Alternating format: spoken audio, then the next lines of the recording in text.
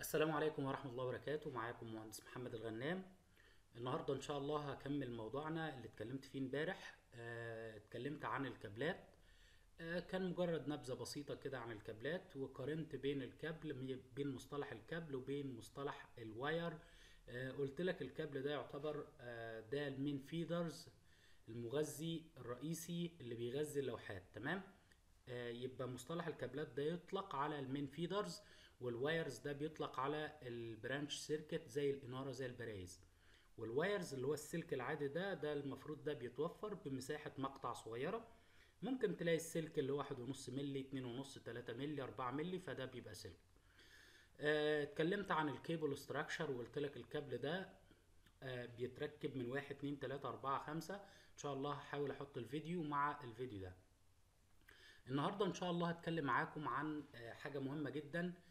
هتكلم عن العوامل التي يجب أخذها في الاعتبار أثناء اختيار الكابل. أنت لما بتيجي تعمل sizing للكابل أو عندك حمل معين اخترت له circuit breaker وبعد كده بتختار الكابل.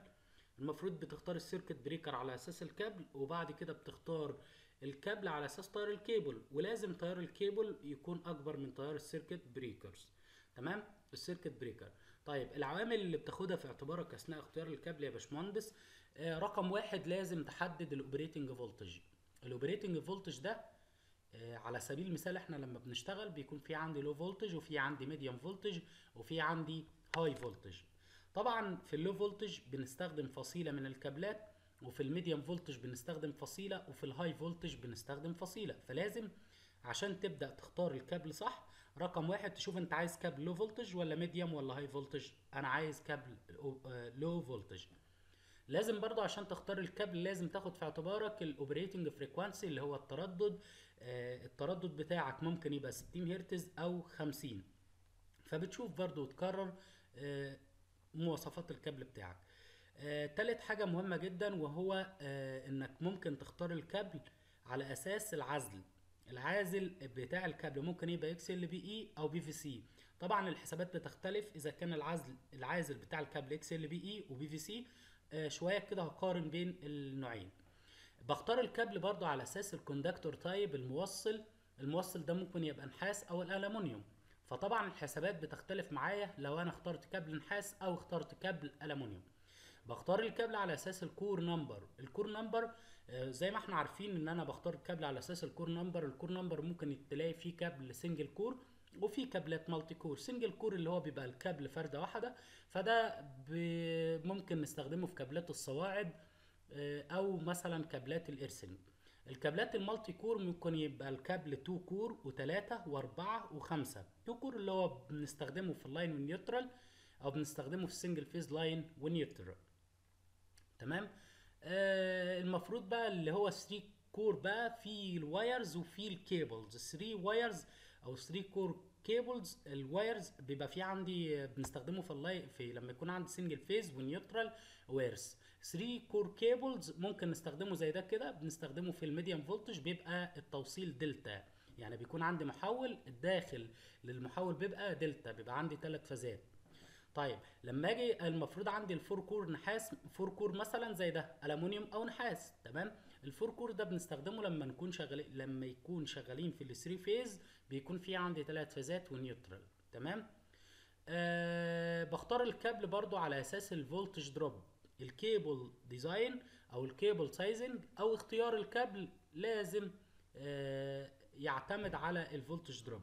يعني أنا عندي حمل معين اخترت circuit breaker واخترت الكابل الكابل ده لازم أحدد ماشي مسافة قد إيه وبعد كده أبدأ آه، أشوف حساباتي مظبوطة ولا مش مظبوطة عن طريق إن أنا أعمل اختبار ال voltage drop. لو ال voltage drop لو ال voltage drop يا باشمهندس لقيته في النسبة المسموح بيها اللي هي اللي هو ما يتعداش 5% يبقى اختيار الكابل تمام. لو لقيت إن ال voltage drop أعلى من 5% ودي يعتبر في ال main feeders لأن الدوائر الفرعيه زي الاناره والبرايز ممكن ال voltage drop المسموح المفروض ما يتعداش 2.5 ل 3% طيب آه، لو لقيت ال voltage drop في النسبة المسموح بيها اللي هي أقل من 5% يبقى اختيار الكابل زي الفل.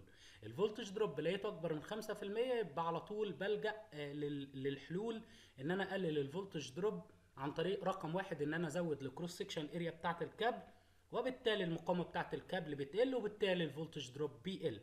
تاني حاجة يا باشمهندس آه، بلجأ لها بعد تزويد لل cross section area إن أنا ممكن أستخدم حاجة اسمها ال voltage stabilizer اللي هو منظم الجهد اللي هو بنستخدمه في البيوت لما يكون ال- ال- الجهد مش متظبط فده بيثبت الجهد عن 220 أو غيره.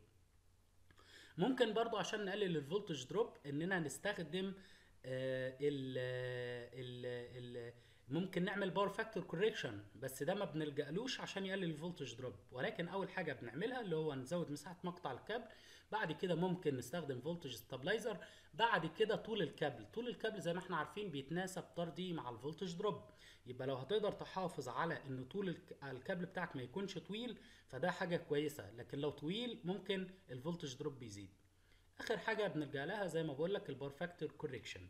لما باجي أختار الكابل في عندي عوامل برضو بتأثر لي في اختيار الكابل زي ال maximum short circuit current. فال short circuit طبعا بيأثر في اختيار الكابل. طبعا بيخت... برضو العوامل اللي بتأثر لي على اختيار الكابل cable length ووضحناها في ال voltage drop وعرفنا إن الطول بيتناسب طردي مع ال voltage drop. آه، في عوامل برضو لازم أخدها في اعتباري أثناء اختيار الكابل وهي ال derating factors. ال derating factors يا باشمهندس.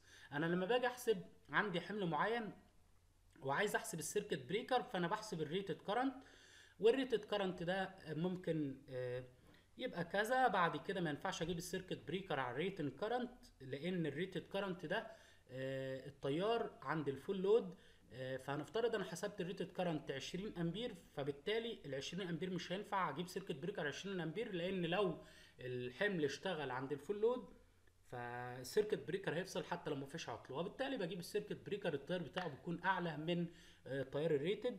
بعد كده ببدأ أجيب ال I cable ال I cable بتساوي ال circuit breaker اللي أنا حسبته على ال derating factors إيه هو ال derating factors دي عوامل محيطة بالكابل. العوامل المحيطة بالكابل اللي هو بحددها على أساس طريقة تمديد الكابل. هل الكابل ده مدفون في الأرض في ال ground؟ فلازم أحدد ال depth عمق الدفن آه، الكابل ممكن يبقى نص متر ست- 60 سم 80 سم متر متر ونص 2 متر. آه، فبيبقى في جداول في جداول السويدي إن شاء الله في مرة تانية أعرفكم ال- الجداول دي. هتلاقي في يقول لك ال depth derating factor في ground temperature لو أنا دافن الكابل في الأرض فلازم أحدد ال ground temperature وبناء على أحدد ال ground temperature ال ground derating factors. وفي عند الكابل لو ماشي على cable trays فلازم احدد ال air temperature derating factor لازم كمان يا باشمهندس احدد آه، هل في تجاور للكابلات الكابلات ماشية flat ولا multi core آه، آه، ممكن آه، برضو بالعوامل اللي بتأثر لي على اختيار الكابل إن الكابل بتاعي ده أشوف هو ماشي على ماشي في duct ات ولا ماشي في الحيط embedded in building structure ولا ماشي إزاي. آه، فلازم أحدد كل العوامل دي وبناء عليها أقدر أختار ال derating factor المناسب وأبدأ أختار الكابل المناسب. تمام؟ أتمنى تكون آه، المعلومة وصلت وإن شاء الله في مرات تانية هحاول أتكلم عن موضوع جديد. والسلام عليكم ورحمة الله وبركاته.